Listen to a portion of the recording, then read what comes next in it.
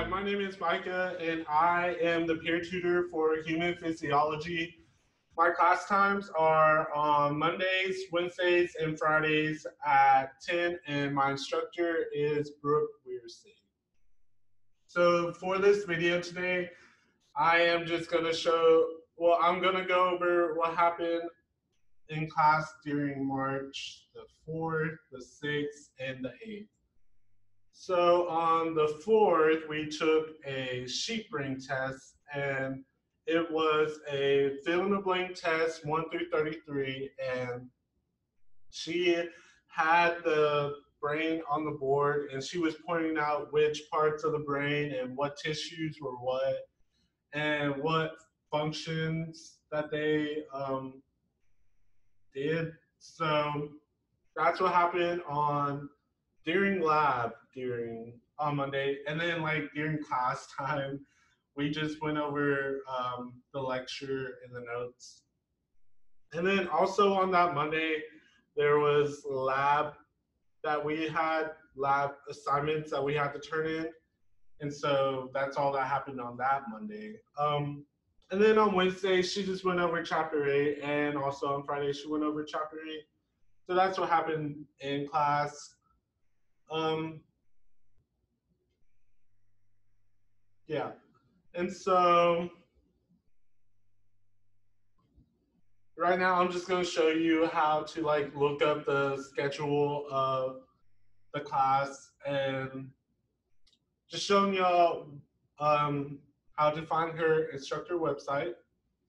And so you're just gonna go to the course on Blackboard, and then right here it's just it says instructor website. So you're just gonna press that, and it pulls you to this, and then you go to physiology, and then you can scroll all the way till right here, and then this is the spring 2019 tentative schedule and we are almost at spring break.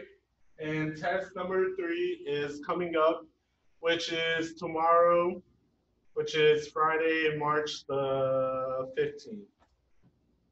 Yeah, March the 15th. So make sure you stay for that.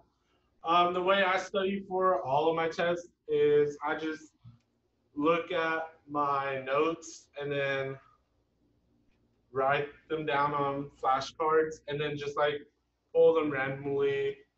And then sometimes I get a friend to like um, just questioning and just challenging myself.